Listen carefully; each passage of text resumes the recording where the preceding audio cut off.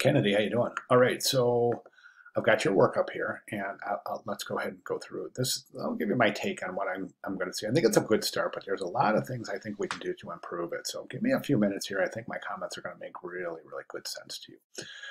I'm glad you picked this one with the lawnmower with the goat. I love it. I think it's a blast. I love this frame right here.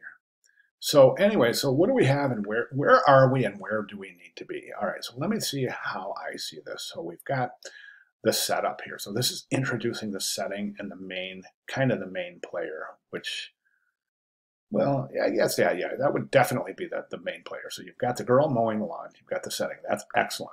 Then you show a little close up of the lawnmower with a face on a lawnmower because the lawnmower's about to get sick. Maybe a couple of puffs of smoke here just to reinforce that this lawnmower's about to to uh, breathe its last breath, so to speak, right? So, well, a couple, couple puffs of smoke.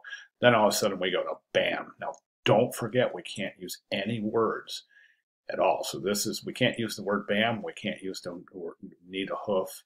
Yes, can't use those, right? So maybe figure out just maybe how to show this thing blowing up, right? I'm not so sure if we need this frame right here, okay? Because we already know the lawnmower blew up. So this is kind of seems a little redundant that we have the girl and we have the things um, kind of bouncing around after, after the lawnmower blew, right?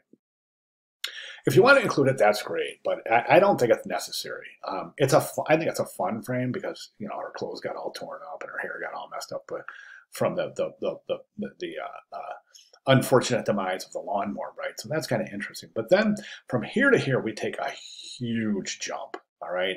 And think of this as a narrative. Think of it as, as a storytelling. So all of a sudden from here, we, we get in this setting where you have this girl mowing her lawn. And then all of a sudden the lawnmower blows and out of nowhere appears a goat right? And that's the part I think is, is a, that's a little problematic. My recommendation is this on your setup scene, maybe in the background over here, you could have a fence back off in the distance where, where she's got her goats. So her goats are back there.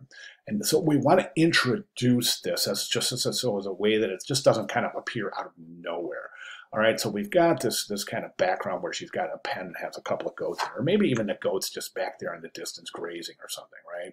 We want to we want the viewer to know that there is a goat involved in here somewhere instead of just springing it on a viewer like all of a sudden this goat appears, right? So we want to make a connection from her solution, from her problem to her solution, in, in by introducing the solution a little bit earlier in in the narrative, right? So at this point, what I would say is she's like this, all right? And this is the part where you're going to have to really think about introducing this aha moment where she's like this. All of a sudden, she, she her lawnmower's no more, right? So she gives this look like this, like, what am I going to do now, right? And so you have her maybe looking around, and then all of a sudden she looks at the goat, and then she has the aha, I know what I can do. Okay, so again, you're drawing a transition between this frame and this frame after already introducing the goat in the first frame, right? So now she says, aha, so she goes to get the goat, right? She she she kind of suits the goat up, you know, and, and, and then she starts in with her mowing the lawn, right? Now I think at this point, somehow in one of these frames, like this frame here, we have to show her maybe leading the goat back to the area where she wants to continue mowing the lawn, right? So so maybe she should get this, this aha moment. Oh, wait a second, I have a goat. So she walks over and then she grabs the goat. You see her walking maybe with a rope around the goat's neck, walking the goat back to the original setting where she turns around, grabs him by the legs, picks up his rear legs, and continues to mow the lawn. Okay.